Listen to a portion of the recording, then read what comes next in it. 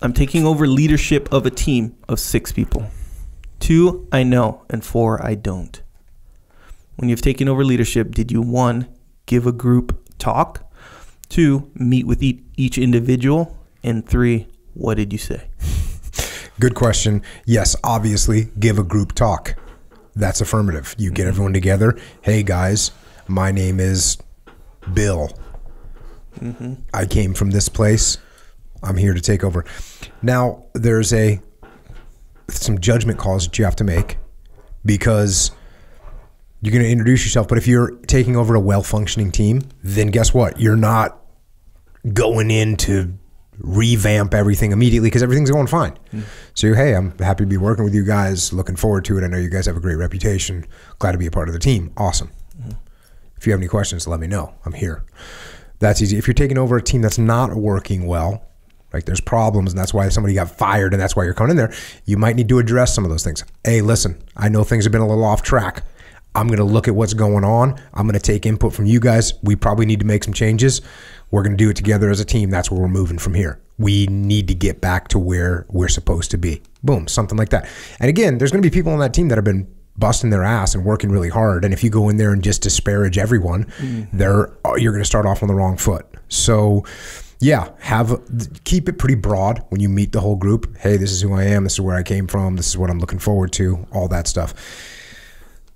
And then yes, do you meet with people individually? Absolutely. You go around, you meet with them, and when you what do you talk to them about? You talk to them about them. You talk to them about them. You want to know about them. You want to know who they, they are. You want to know what their what their family situation is, what their interests are, what's going on, how they feel about the transitions that have been taking place. A little bit of that stuff. It's not about you. It's about them. So go yes and talk to everyone. Take notes. Maybe not right in front of them, so you look like a nerd. But you know, afterwards you go, "Hey, Bill has three kids. His wife also works at the company.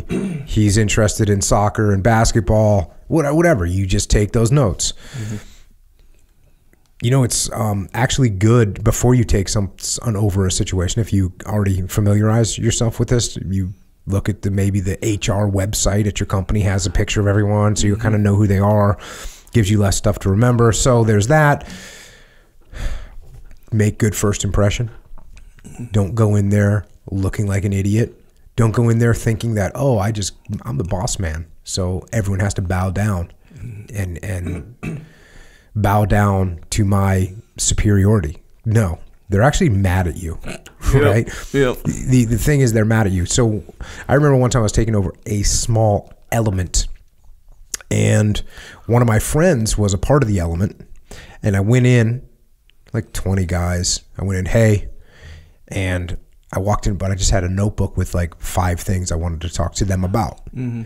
And as soon as I walked in, I, I opened up my notebook and he said something like, You brought a notebook, you're always squared away. That's why you're putting in charge. That's why you're mm-hmm. putting in charge. So, like, just a little impression of, Hey, man, I'm, I take this stuff seriously. Mm-hmm.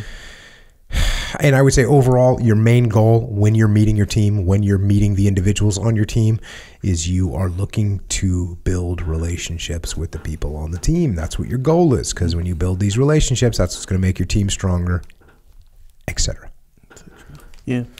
Remember the time you were when you were on Joe Rog- Rogan the first time, where he was like, "Hey, you're the only ones who's ever brought a notepad." Yep. And you're like, "Just trying to be prepared." Just trying to be prepared That was good. in case there's anything you know Yeah, topic man. comes up. You don't want it to slip your mind. Yeah, yeah. That that's funny. Uh, and I'm trying to imagine being a worker, and you know, when you get a new manager, you know, or whatever, new boss.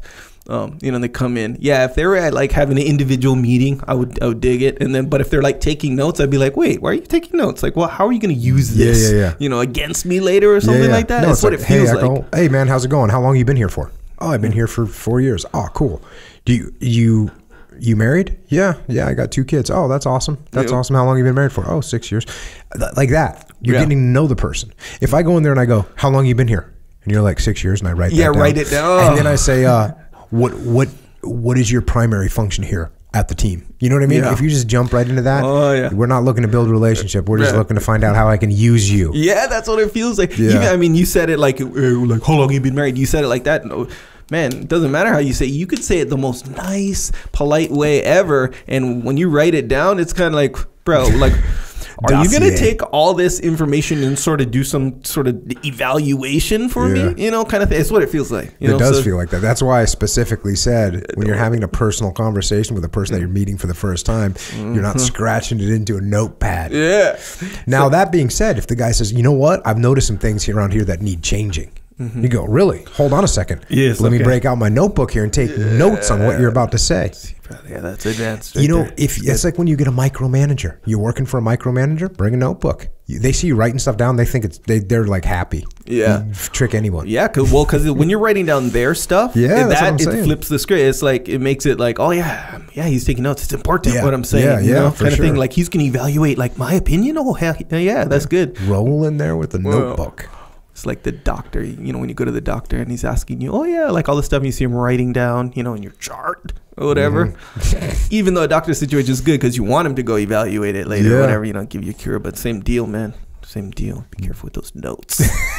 For my sake, geez. Check, check. Echo's not prepared for you to take notes on him. We Not with it. well, not my personal stuff. How long you been married? Oh, nine years. Okay, nine years. Got it. well, bruh. Anyway, you understand. Check.